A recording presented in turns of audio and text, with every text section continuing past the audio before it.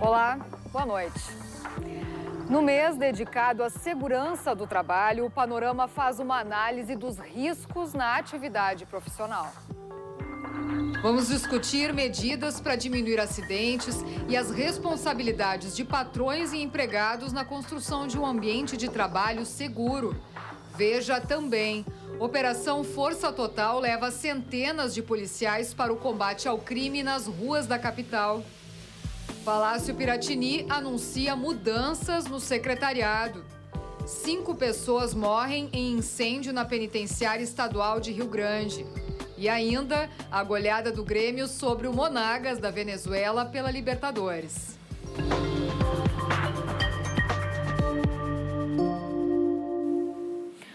Uma nova fase da Operação Avante vai reforçar o combate ao roubo de veículos e pedestres, tráfico e outros crimes na capital, região metropolitana e Serra Gaúcha. Aqui em Porto Alegre, centenas de policiais foram às ruas nesta quinta-feira em vários pontos da cidade. Mais polícia na rua é igual a cidadãos mais tranquilos. O pedestre, assim, o cidadão, quando ele já vê a brigada, ele, ele acaba se sentindo mais seguro já. Ou nem tanto. A gente ultimamente está totalmente zerada de segurança. A Polícia Militar Gaúcha deu início nesta quinta-feira a mais uma fase da Operação Avante, denominada Força Total. Ela ocorre nos municípios da região metropolitana e da Serra e contará com um reforço de 120 viaturas e 580 policiais. Desde o início, em janeiro de 2016, cerca de 350 atuam diariamente em ações envolvendo a operação. O objetivo agora é aumentar a visibilidade das ações da polícia e diminuir os índices de criminalidade. A data de lançamento da nova fase da operação não foi uma escolha aleatória. Segundo o Comando de Policiamento da capital, a quinta-feira é o dia da semana com o maior número de ocorrências. Nessa nova etapa, as atenções estarão voltadas para os dois tipos de crime que mais tiram o sossego do morador de Porto Alegre: o roubo a pedestres e o roubo de veículos. Segundo a PM, o crime de roubo a veículos reduziu 6% no último ano. Já no roubo a pedestre, a redução foi maior, de 24%. Apesar dos números promissores, o comando de policiamento da capital se mostra preocupado com a situação. Hoje, a, o principal objeto de desejo do meliante no roubo a pedestre é o celular, porque ele hoje se tornou um objeto, uma moeda corrente né, no, no mercado paralelo e o roubo de carro, que é a nossa preocupação em função, muitas vezes, de que a vítima reage e pode ser atingida por um disparo de arma de fogo ou um objeto pérfuro contundente, uma faca ou, ou, qualquer outra circunstância e vira óbito, né? transformando o delito contra o patrimônio, contra a pessoa, um latrocínio que é um, um crime devastador. As ações envolvendo a nova etapa devem ocorrer uma vez na semana, em dias aleatórios. A Operação Avante é baseada em informações da inteligência da Polícia Militar e de outros órgãos de segurança. É por meio delas que barreiras como esta, na zona norte da capital, tornam o trabalho da polícia mais efetivo. A gente tem um, um sistema onde a gente deixa um policial militar numa situação discreta, já selecionando previamente na via então ele faz a cifragem dos veículos que vão separados e os veículos que não, não vão separados, sempre com o objetivo de diminuir o máximo o transtorno para o cidadão que está circulando na via. Cinco pessoas morreram e outras sete ficaram feridas durante um incêndio na penitenciária estadual de Rio Grande. A suspeita é de incêndio criminoso. O fogo começou na madrugada no pavilhão do albergue, onde ficam os presos do regime semiaberto. A perícia constatou que o incêndio começou na rede elétrica e teria sido provocado de forma intencional. Os apenados teriam auxiliado os agentes no momento da ocorrência para evacuar o prédio. Cinco deles morreram em um banheiro ao tentar fugir das chamas e da fumaça. Dos sete feridos, um é agente da SUSEP. Todos foram levados para a Santa Casa de Rio Grande com queimaduras ou problemas respiratórios. A Justiça concedeu saída temporária de sete dias para presos que tinham o direito. A penitenciária de Rio Grande tem 404 vagas, mas abriga 909 detentos no momento. Uma investigação foi aberta pela SUSEP para apurar o caso. Nós estamos no Abril Verde, um mês dedicado à segurança do trabalho. Acidentes envolvendo exercício de atividade profissional podem causar danos irreversíveis e geram uma conta bilionária para o sistema de saúde. Nos últimos cinco anos, o INSS pagou mais de 1 bilhão e 330 milhões de reais por conta de afastamentos do trabalho no Rio Grande do Sul. As comunicações de acidentes entre 2012 e 2017 foram superiores a 90 mil. O setor com o maior número de casos é o hospitalar. Para o vice-presidente do Cinti Saúde, boa parte dos acidentes acontece pela sobrecarga de trabalho para complementar a renda e pela falta de estrutura com grande demanda. Imagina uma, uma emergência onde cabem 44 pessoas, pacientes. Hoje, em qualquer emergência da região metropolitana de Porto Alegre, tu vai ter em torno de onde cabem 44, 124, 190 pacientes. E é o dimensionamento de quadro é dado pela quantidade de leitos disponíveis. Então, eu tenho técnico de enfermagem para atender 44 leitos, não 194. Então, isso acarreta uh, riscos com perfuro cortantes, né, com seringas, uh, traz o risco emocional também, porque é uma carga emocional muito grande, né? Combinando o grau de risco ao número de funcionários, as empresas são obrigadas ou não pela legislação de terem técnicos ou engenheiros de segurança. O Cláudio é professor no curso técnico do Instituto Federal do Rio Grande do Sul. Ali no próprio prédio, ele mostra iniciativas de prevenção, como barras para evitar a aproximação à parede de vidro, piso tátil de acessibilidade e segurança, chuveiro de emergência na sala de química. Mas em um prédio tombado, dificuldades estruturais de carga elétrica ou hidráulica, por exemplo, podem ser riscos. No entanto, fatores de infraestrutura e manutenção providos pela empresa têm o mesmo peso que a cultura de segurança e questões emocionais dos funcionários. Um ambiente seguro pode proporcionar um acidente, sim, se eu não tiver um ser humano preparado para estar nele, interagindo com as máquinas e com a produção. Por outro lado, um trabalhador extremamente qualificado, num ambiente inseguro, e ele não tem uma cultura da segurança, ele pode ser vitimizado por esse ambiente. Então, as duas, as duas parcelas são muito importantes na composição desse fator. Realizando aquelas, aquelas questões preventivas, muitas vezes já previstas nos manuais, nos fabricantes, eu vou estar saindo daquela faixa de risco mais eminente do equipamento tornando o ambiente mais seguro, proporcionando ao trabalhador uma máquina, um equipamento dentro dos padrões de segurança que o próprio fabricante já teve a obrigação de oferecer. Vamos falar mais sobre os acidentes no trabalho e prevenção. Recebemos aqui o procurador do Ministério Público do Trabalho do Estado, Rogério Fleischmann. Muito boa noite. Boa noite. Bom, como nós vimos aí na reportagem, a respeito das causas, né, dos episódios eh, que têm como vítimas os trabalhadores. Vamos falar um pouquinho delas, então. Bom, é, nós temos, é, para falar das causas, nós recorremos sempre à estatística oficial, que é uma estatística baseada nas comunicações de acidentes do trabalho que são é, emitidas pelas empresas. Né? Aí nós já temos um problema, as empresas nem todas emitem a comunicação. É, se formos pegar a estatística oficial, nós temos que os hospitais são os que mais é, causam acidentes e adoecimentos. Mas a nossa experiência é diferente dessa. Nós temos é, muitos acidentes na construção civil, por exemplo. Nós temos muitos acidentes de motoristas com carga, por exemplo. Né? É, enfim, é um número grande de, de, acidentes que acontecem que, estão, que não estão nas estatísticas. Né? É importante dizer isso, porque nós agora, né, a propósito do Abril Verde, estamos lançando um, um diagnóstico inédito em relação a acidentes do trabalho com morte no Rio Grande do Sul. E no dia 26 vai acontecer um evento relativo a isso na, na, na, no Largo Leme Pérez. E ali nós vamos mostrar, os números estão sendo fechados, mas nós vamos mostrar que existe uma grande defasagem entre o que está sendo demonstrado na estatística e aquilo que realmente está acontecendo.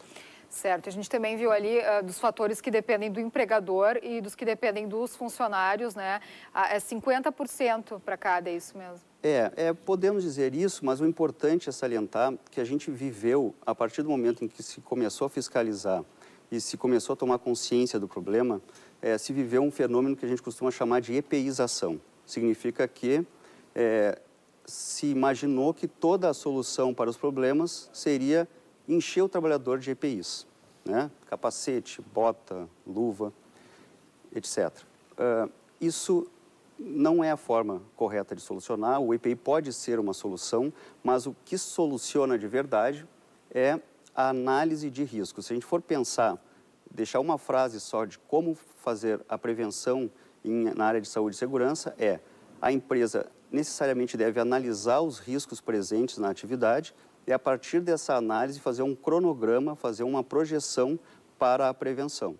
Por exemplo, se na construção civil, se nós temos os riscos de choque elétrico, nós temos os riscos de queda em altura, a empresa deve usar todos os mecanismos para fazer a prevenção no que respeita à queda em altura e choque elétrico, por exemplo. Não adianta colocar um capacete no trabalhador e ele cair de uma altura de 50 metros, não vai resolver.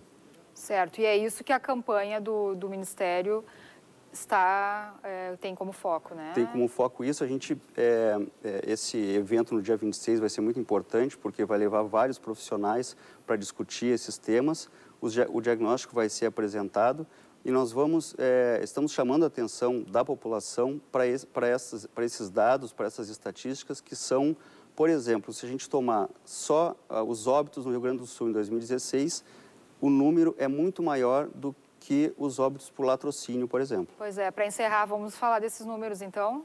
É, nós estamos finalizando os números, né? não temos ainda a, uhum. o, o, diagnóstico completo, mas a preliminar de análise é, é assustadora. Se sabe, então, que houve um aumento. Um, houve um aumento, há uma, uma, defasagem muito grande entre a estatística oficial e aquilo que se verificou nesse, nesse diagnóstico que se fez, que ele é baseado não só na estatística oficial, mas, por exemplo, no, nas notificações feitas pelo sistema de saúde, pela, pelos boletins de ocorrência da Polícia Civil, enfim, certo. nós buscamos outras fontes para poder consolidar essa estatística. Perfeito o nosso tempo encerrou, mas tem algum site ou algum telefone para que o pessoal é, quiser tele, é, ligar, então qual é, qual é? Pois não, no Ministério Público do Trabalho, no Rio Grande do Sul, é www.prt4.mpt.mp.br. Perfeito. Ali tem todas as informações Tem todas também. as informações. Denúncias também podem ser também, feitas. Também, o link coleta de denúncias nesse site pode acessar ali, que é bem fácil de, de fazer a denúncia. Tá certo. Muito obrigada pela sua presença e pelos esclarecimentos. Eu que agradeço. E depois do intervalo, veja como a tecnologia está afetando o mercado de trabalho. E ainda hoje, Grêmio goleia Monagas e fica mais perto da próxima fase da Libertadores.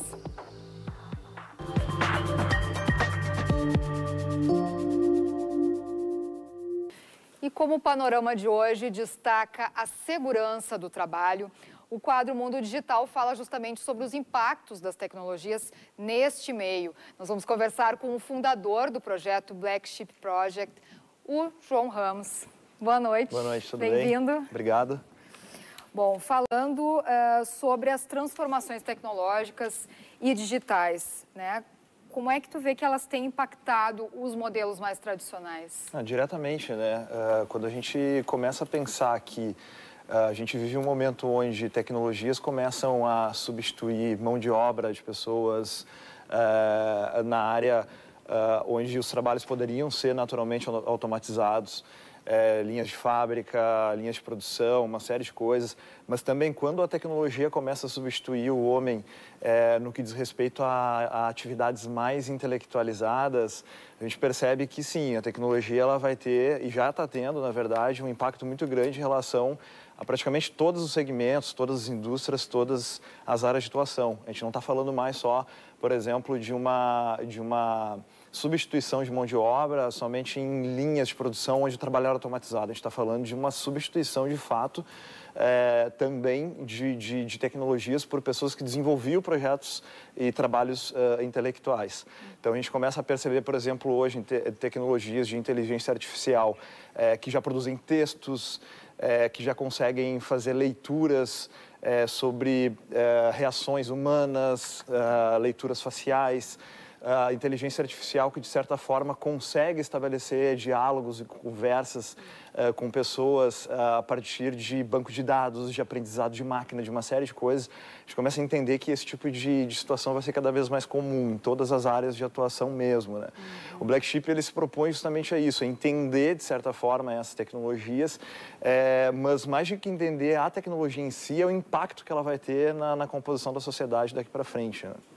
É, certo. E, e quais, o que, que, é mais valorizado, assim, na, na, tua opinião, assim, principalmente no meio profissional, né? Porque a, a gente fica sem saber, né, se são mais as habilidades agora mais voltadas para a técnica, para a tecnologia, e a parte humana, como é que fica também no meio disso tudo? Sim, por uh, uh, contradição até, uh, cada vez mais é, a, a, criatividade, é, a empatia, é, a capacidade de criar conexões diferenciadas vai ser mais realçada, mais necessária. Primeiro porque uh, ainda são características muito uh, particularmente humanas, né? Ou seja, tu tem empatia, tu te colocar no lugar do outro.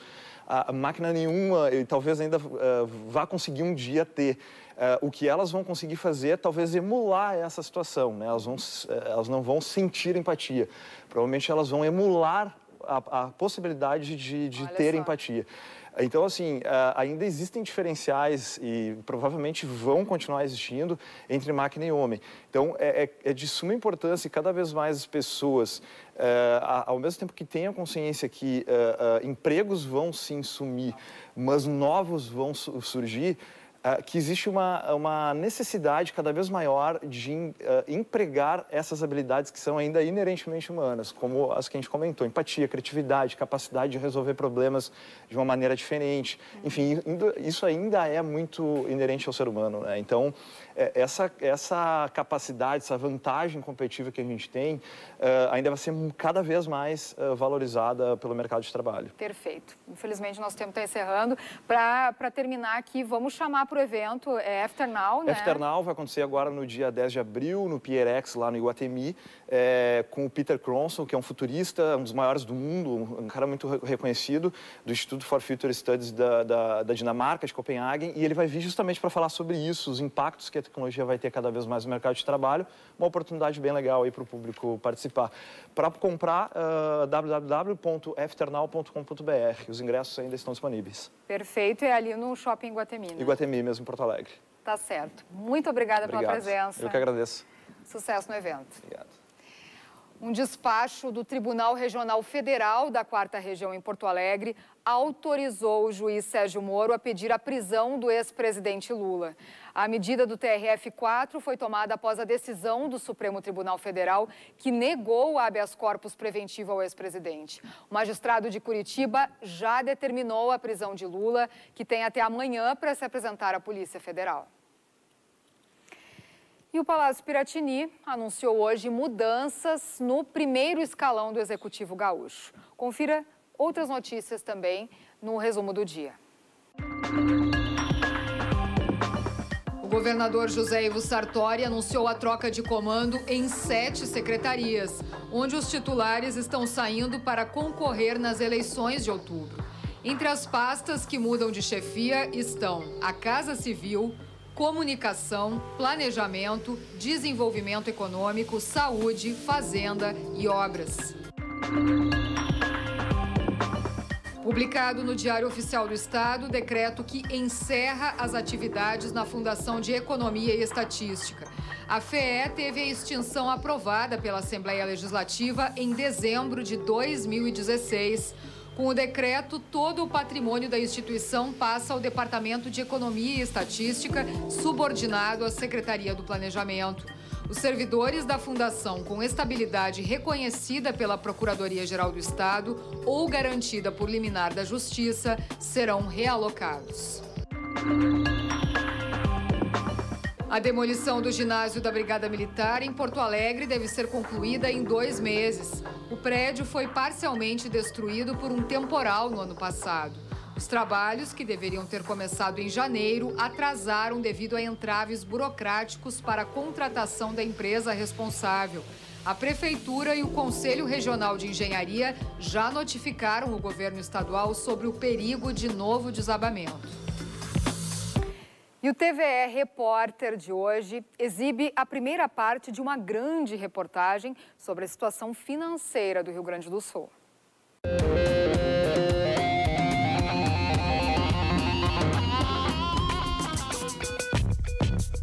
Historicamente, os gastos são maiores do que a receita no Rio Grande do Sul. Dos últimos 48 anos, somente sete empataram ou tiveram superávit, e por questões bem pontuais. Esta apólice aqui foi emitida pelo Estado do Rio Grande do Sul em 1890. O valor, 100 mil réis. Como estas, são várias em amostra aqui na Secretaria da Fazenda do Estado do Rio Grande do Sul. E isso demonstra como o nosso Estado, há muito tempo, toma dinheiro emprestado. É, e o TRV Repórter vai ao ar logo mais, às 10h15, não perca. Depois do intervalo, veja a previsão do tempo para amanhã aqui no estado. E ainda a goleada do Grêmio sobre o Monagas pela Libertadores da América daqui a pouco.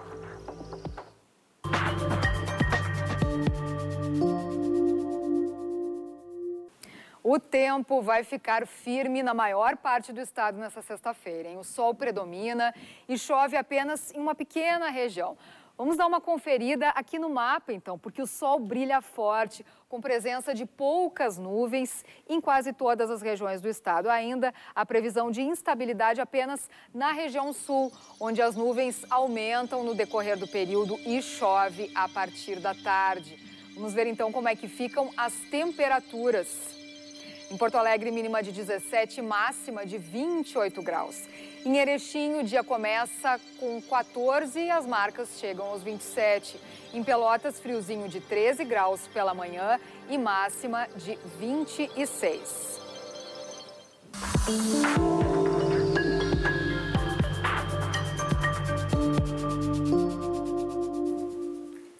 Vamos falar então de Libertadores da América. O Grêmio jogou nesta noite e uh, na noite passada contra o Monagas da Venezuela, precisando vencer para encostar no Cerro Portenho, líder do Grupo 1.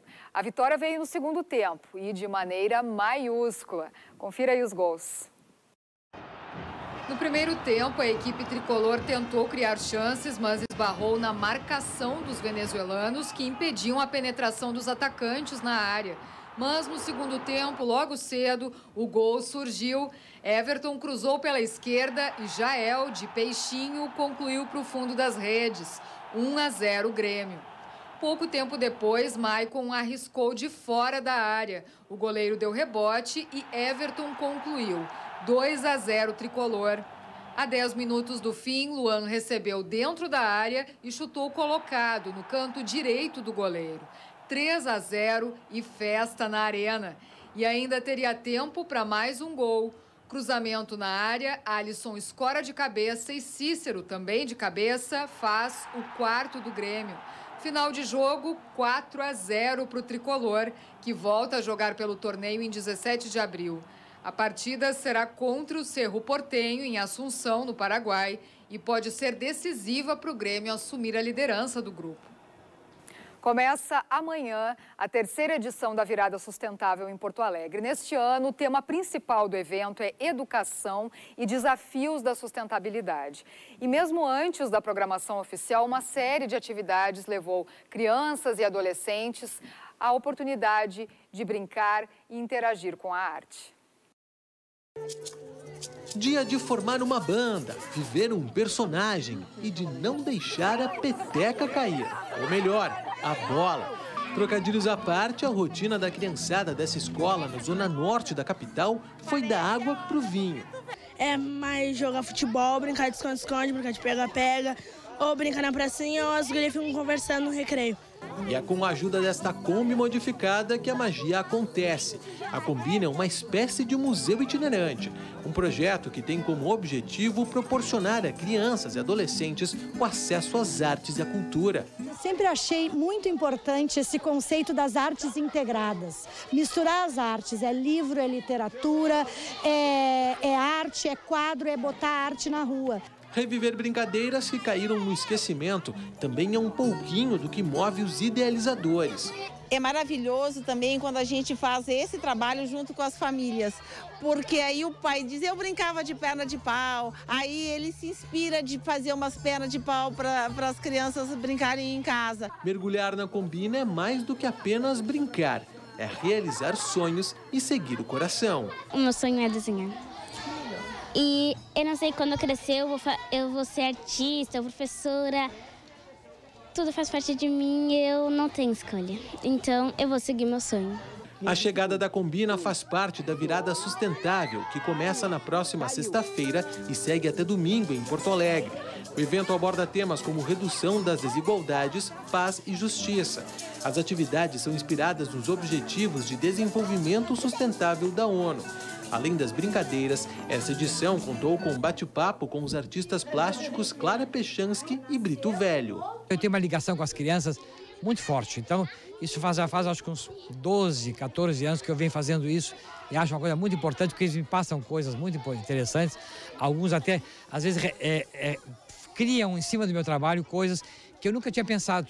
É uma alimentação para o artista e é uma fonte de informação e de cultura para as crianças. São deles as obras que trouxeram mais cor para a tarde da criançada. Combina com cultura? Combina, combina. Combina com ação? Combina, combina. Combina, comigo, combina contigo, combina com todos nós. É, e a partir desta sexta-feira, a capital gaúcha também recebe a 11ª Bienal de Artes Visuais do Mercosul. Agora à noite ocorre a abertura oficial e amanhã já começam as visitações.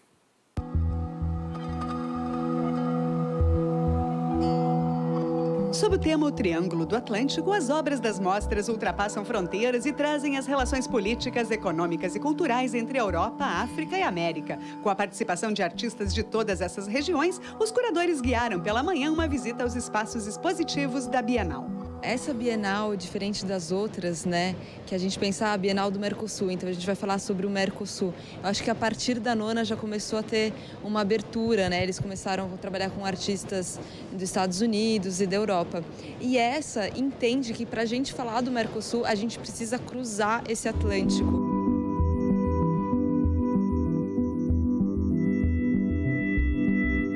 São 40 educadores né, que com muito cuidado, prepararam material bastante sofisticado sobre todas as obras. Então, isso vai facilitar muito, digamos, a compreensão.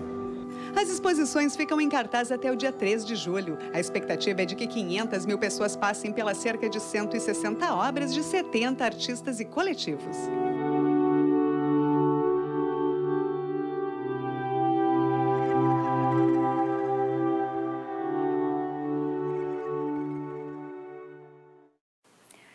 Panorama volta amanhã, às sete da noite. Fique agora com o Debate TV, que trata do mercado de trabalho para a terceira idade. Uma boa noite para você. Até lá.